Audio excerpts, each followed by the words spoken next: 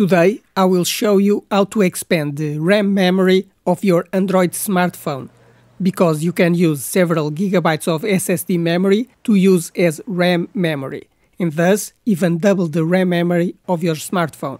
But first, subscribe to the channel because I post new videos every week.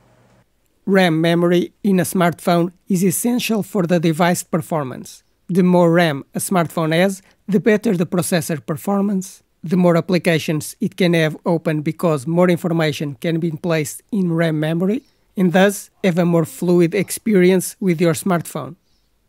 So, if you have a smartphone with low memory, you can use part of the SSD storage memory as RAM. I have this smartphone here with 8 GB of RAM and 128 GB of SSD storage, but I will enable the feature to use a few gigabytes of SSD memory as RAM. So I will show you the process of how you expand the RAM memory. Open the Settings menu and look for the Phone Information option, which on the smartphone is the last option in the settings. And you can see that the smartphone has 8 GB of RAM.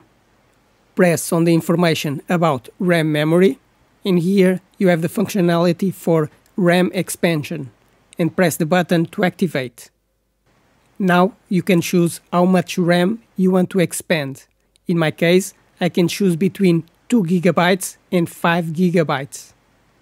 I will choose the maximum, 5 GB, the maximum that the smartphone allows to expand, and it's ready.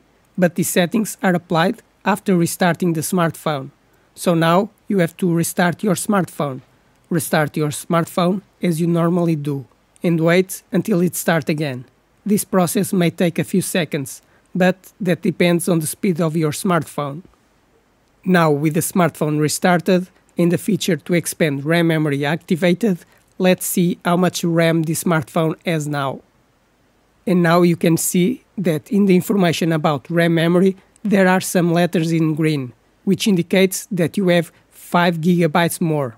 So the smartphone now has a total of 13 gigabytes of RAM.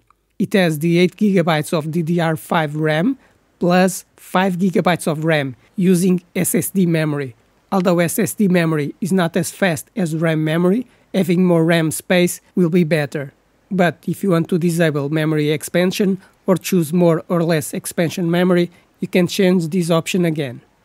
I hope this trick helps you increase RAM memory to improve the performance of your Android smartphone. But now, subscribe to the channel because I post new videos every week like this video to help the channel, and if you have any questions, write in the comments.